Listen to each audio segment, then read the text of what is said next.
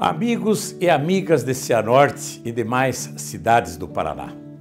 Passados alguns dias do falecimento do meu irmão Edno, me senti na obrigação de falar com todos vocês, para agradecer o carinho e principalmente a demonstração de um sentimento verdadeiro para com toda a minha família.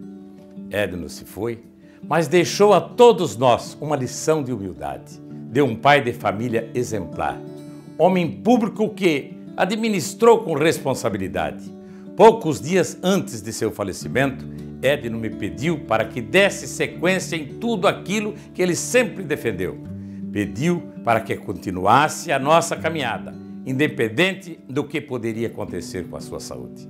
E justamente por isso, quero convocar a todos, convocar aqueles que sempre estiveram conosco, os amigos, as amigas de Cianorte de todo o estado, que num sentimento todo especial demonstraram toda a sua gratidão pelos serviços prestados por Edno Guimarães. Vamos seguir em frente, vamos juntos dar continuidade ao projeto de desenvolvimento que ele sempre sonhou.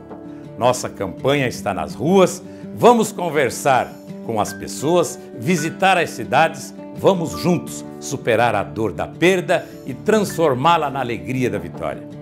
E como ele sempre dizia em seus discursos: se os homens íntegros se omitirem, os hipócritas governarão. Mais uma vez, muito obrigado pelo apoio e vamos juntos, porque o trabalho continua.